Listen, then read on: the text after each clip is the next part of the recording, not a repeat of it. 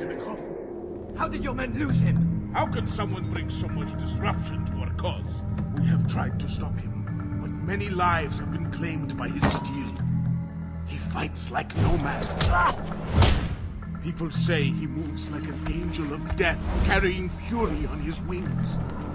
Nonsense. These are just stories. Such myths do not exist.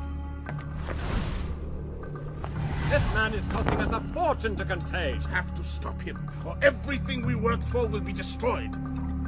How do we restrain this angel of yours? Raise an army? Against one man? Nine, nine, nine! There's nothing we can do The without person calling for Epa's reinforcements. Takeoff was a disaster. Our soldiers cannot be everywhere. Cannot hold up all these men at once. Enough! So he seeks to stop us. Claim our treasure for himself. Pure madness. Let him try. Every angel can fall.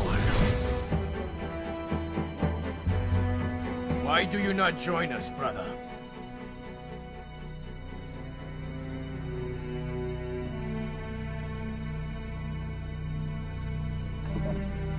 Is there something wrong?